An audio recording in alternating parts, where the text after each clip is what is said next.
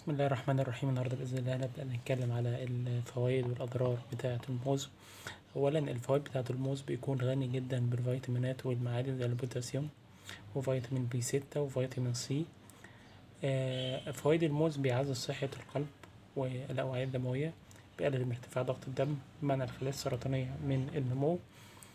آه، فوائد الموز لما بنتناوله قبل النوم بيقلل من التوتر والقلق وبيخفض من تقلصات العضلات عند تناوله آه، باعتدال ما بيديش لأي مخاطر. بس لو في حد عندنا مريض سكر يفضل إن هو ما يتناولوش بكميات كبيرة لأن هو ممكن يسبب يرفع مستوى السكر عنده في الدم.